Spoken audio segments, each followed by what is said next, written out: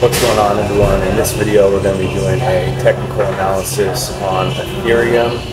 Currently it is April 13th, 3.22 p.m. on the west coast and I'm recording live from inside the Starbucks. Alright, so on uh, yesterday I did a TA on Bitcoin, uh, what Bitcoin looked like going into each of the halving cycles. And so I posted that earlier today and thought, why not do some TA on Ethereum? Uh, a lot of charts are blood red, and the reason for that is the global conflict that is going on, which is incredibly unfortunate. Okay, so we're going to take a look at Ethereum and see if we can project what might happen in the future. This is not financial advice. I'm not a financial advisor, so please do not make investments based on what I say in these videos. And also, I am partnered with BingX, so if you want to trade on leverage, if you want to trade on spot, click my link in the description below, and you might get a bonus of 5,000 USD. They are a great trading platform to work with. So check them out today. All right. Here we got Ethereum on the daily chart. Now this one's not going to be quite as long as the Bitcoin video. That was 35 minutes or so. This one will be closer to under 20 minutes for sure. So let's go back.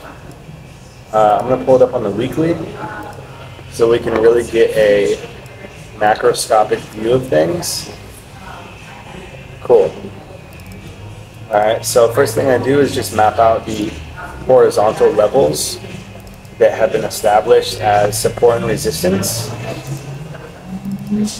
And so this is not something you should have to think about. The levels should jump out at you. Like I'm not, there's no thinking going on in this process, all right? The chart is showing me where the levels are because of where price has bounced off of or been rejected from in the past.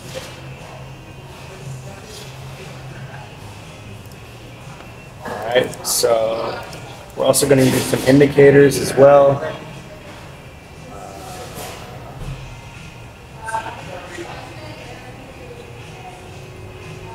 Yeah, and when it's not clear, you can zoom in. You can go to other time frames. If you're not sure about something, always go to um, a new angle on it. That's the difference between being right and wrong or being successful and failing is just having the right perspective on things. So we're to get in closer.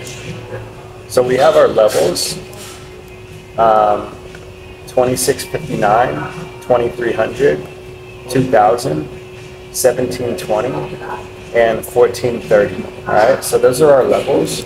I'm to pull up the VPVR, which is the uh, volume profile visible range.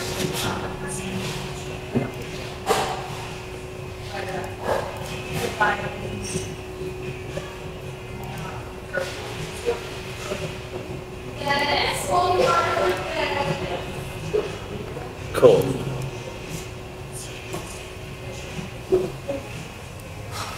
Alright, price action right there. Um, this is not the one I want.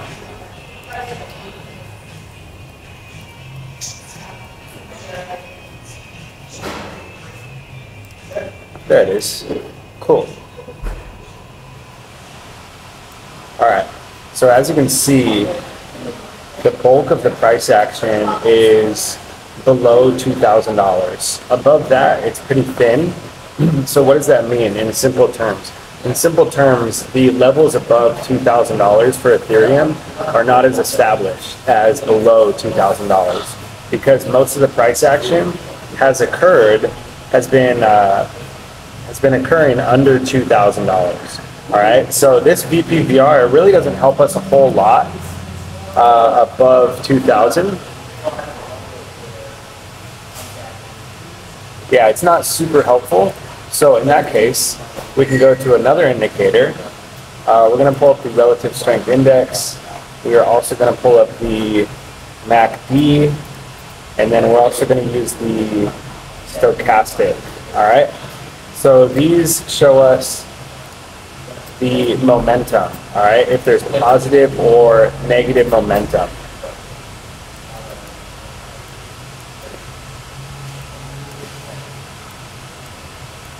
Now, right away,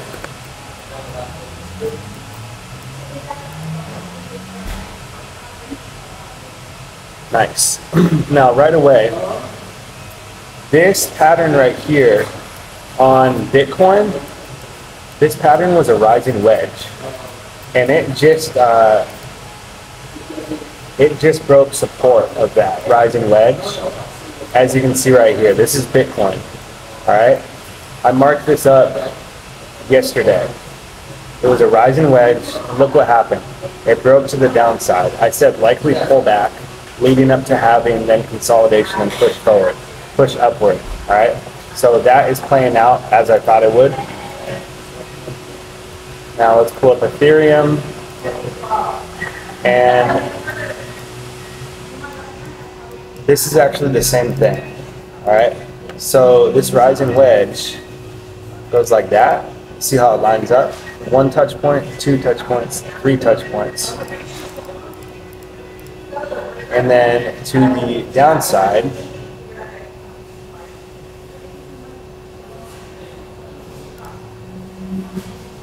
it's a little bit ugly. This is a false breakout right here. This section is a false breakout and it lines up with Bitcoin, okay? You see that? That's the false breakout on Bitcoin. It's the same thing. So Bitcoin leads the charge, and then everything else, the lower market cap coins, they follow.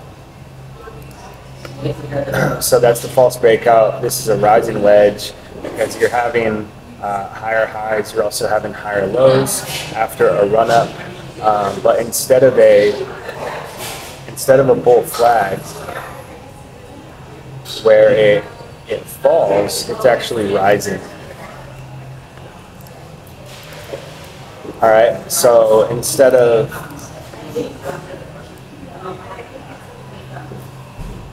that,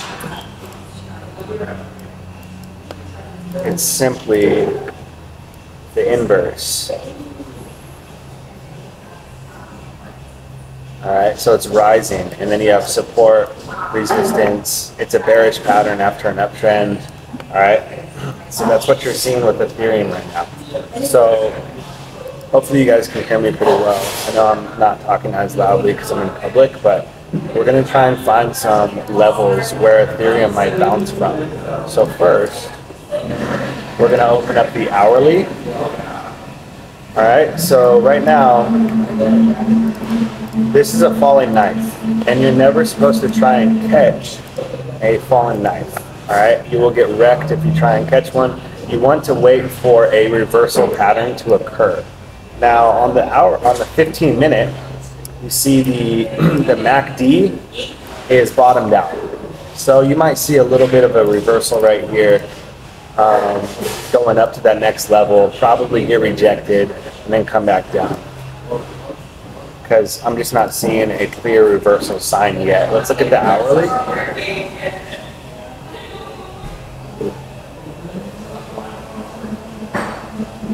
And while we're waiting, guys, I have a free Telegram if you want to join that. We give away trade ideas.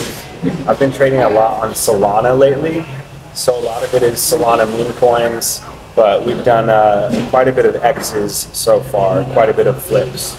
All right, so this is the hourly. Uh, you do have a reversal candlestick right here, this bullish pin bar. So right now we have a level at 28.38. I'm going to pull up the four hour. Uh, you see a long wick to the downside. How much time does that have left? That has um, has some time left for that candle to close on the four hour. So let's clean it up a little bit. Uh, the RSI is oversold.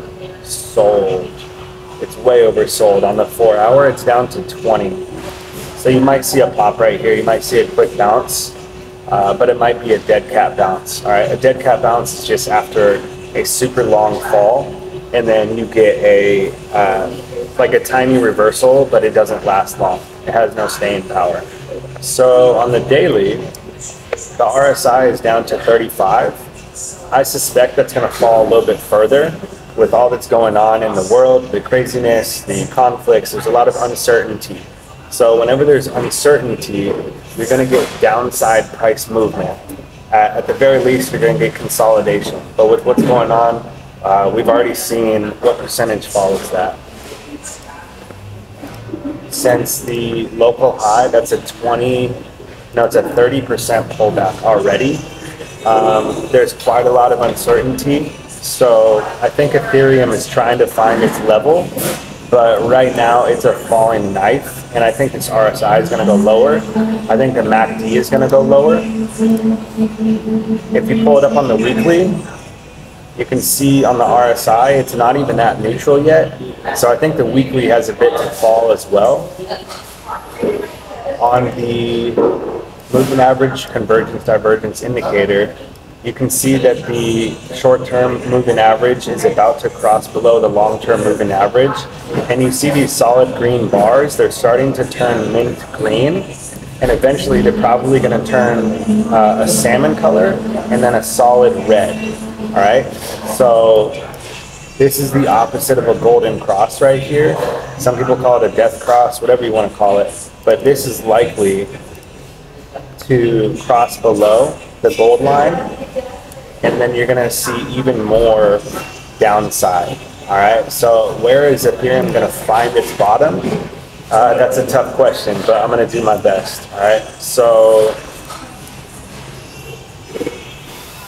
the strongest level, and I'm not saying it's going to go here, but the strongest support level you have to the downside is at $2,000. Now, why do I say $2,000? Well, it's a round number. Um, everything else is kind of a random arbitrary number. 2300, 2650, 2830. Those are kind of like random numbers. They, they're not easy on the eyes, and traders are psychological. So you also have multiple touch points right here, right here, right here. So by and large, $2,000 on Ethereum is the strongest level you have the Bitcoin halving coming up in uh, seven days and one week exactly. I think you're going to see a, a, pullback on Bitcoin and the macro, uh, the macroeconomics of crypto, like you know the global view of all of crypto. I think you're going to see a pullback and consolidation going into the halving. I think post halving, you're going to see, um, I don't know when, but I think you're going to see a hell of a run. But for now, for now, Ethereum is bearish, and there's more confluence right here. So this is the monthly chart where each candlestick represents 30 days of price action. So for the month of April, you have this bearish engulfing candle, all right? Because the red candle completely swallows the previous green uh, candle in the uptrend. So right now, I honestly wouldn't be surprised to see $2,000. That's the strongest level to the downside. Um, let's see if there's a closer support level that it might catch at and find support. Okay, so it could find support at 2659.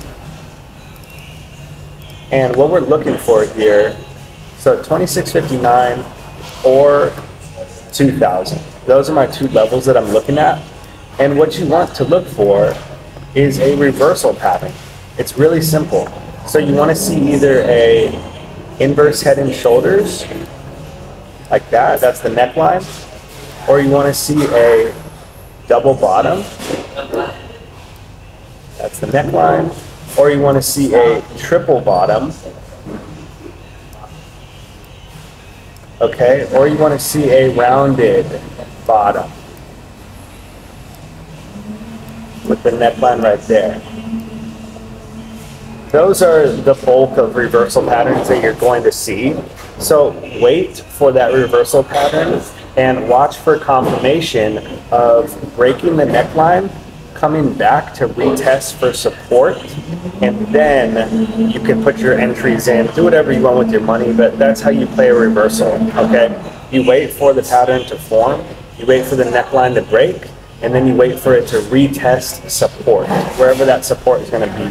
So watch out for inverse head and shoulders, double bottom, or a triple bottom, uh, rounded bottom. You could also have a V-shaped recovery. Those ones are a little bit trickier, but in the same vein, you're going to have a neckline where it retests for support and it pushes upward. So just to recap, that's what I'm looking at with Ethereum. Uh, you have this local high of $4,000. I see strong support at 2K, even to the downside. And then I also see strong support at this 2600 area. Um, but watch the MACD, watch the RSI.